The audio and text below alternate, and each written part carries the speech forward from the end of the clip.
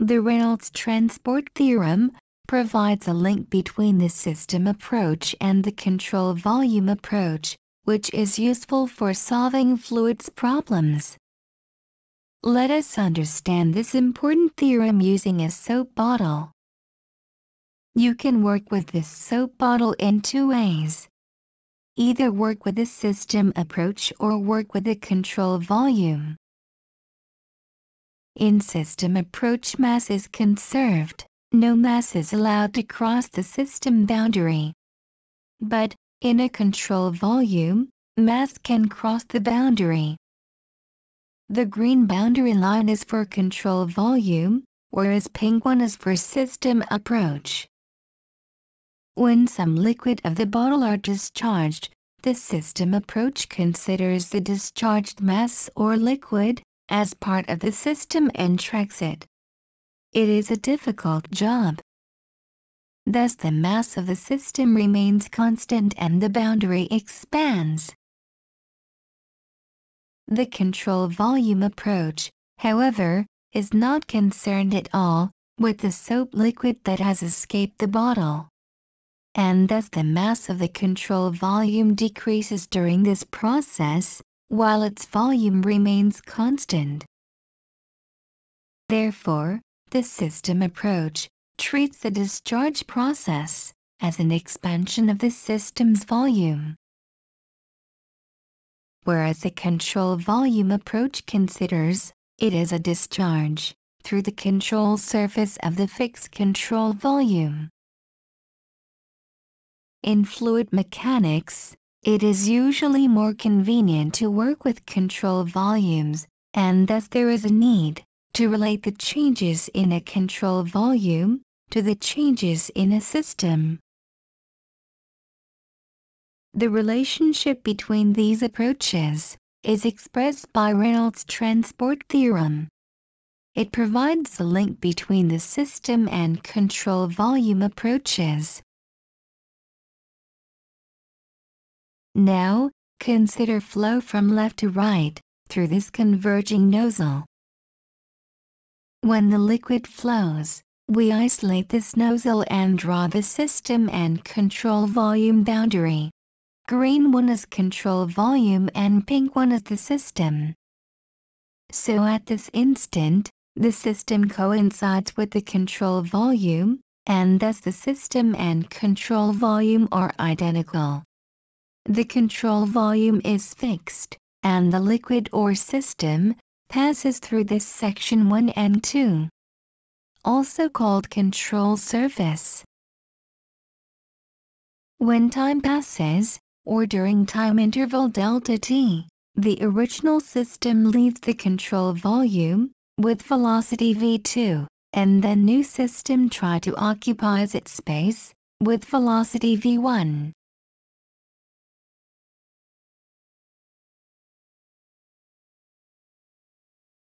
Alright, at initial time t. Mass of system is equal to mass of control volume. But in little increment of time, mass of the same system is mass occupied by new and the old system within the control volume at time t plus delta t minus mass occupied by new system at time t plus delta t, plus total mass that leaves the control volume at time t plus delta t. Let's replace the mass by any extensive property.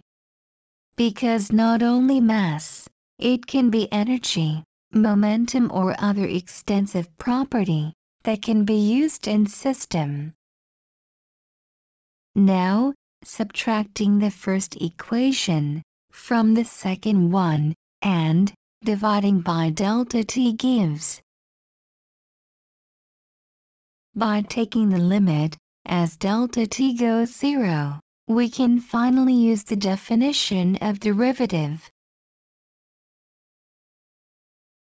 Hey, look at it, the time rate of change of the property B of the system is equal to the time rate of change of B of the control volume plus the net flux of B out of the control volume by mass crossing the control surface.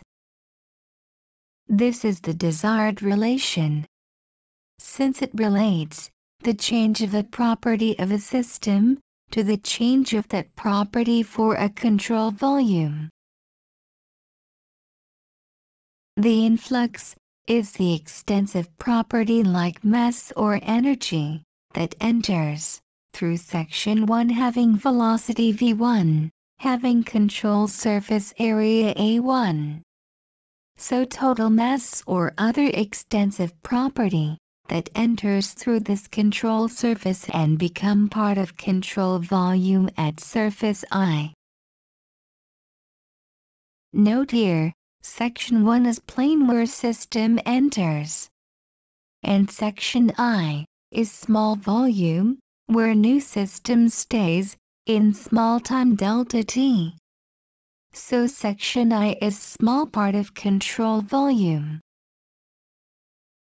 And B, in, is the total flux, on this section I.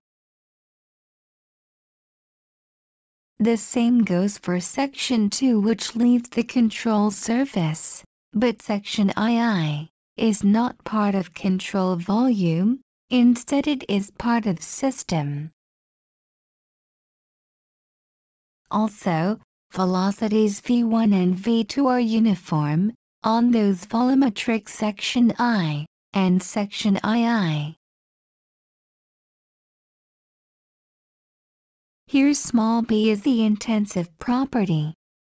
If you divide extensive property by mass, you get intensive property. If you are still confused about how this equation arrived then remember, extensive property is mass times intensive property but mass is density times volume and volume is area times velocity.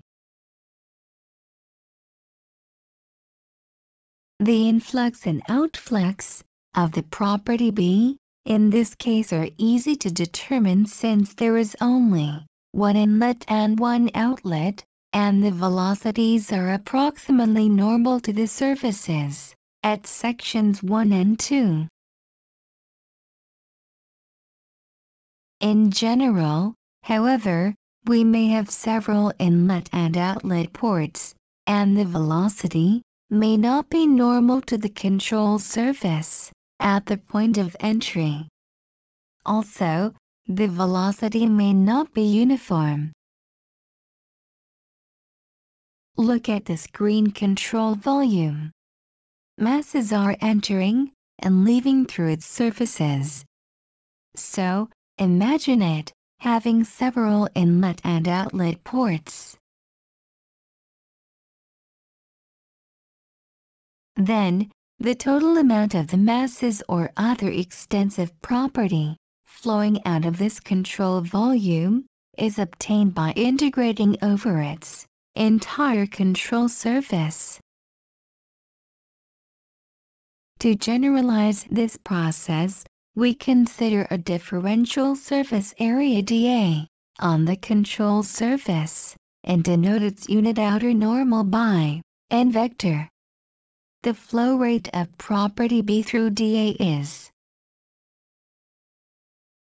Now if we integrate over entire area,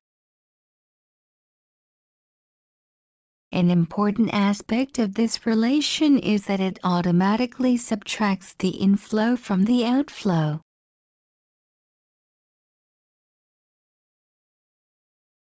Also, last time, the properties do not vary within the control volume, they are uniform but, they may vary with position, in general. In such a case, the total amount of property B within the control volume must be determined by integration. A positive value indicates an increase in the B content and a negative value indicates a decrease. Finally, This is the full Reynolds transport theorem for fixed control volume, having varying extensive property.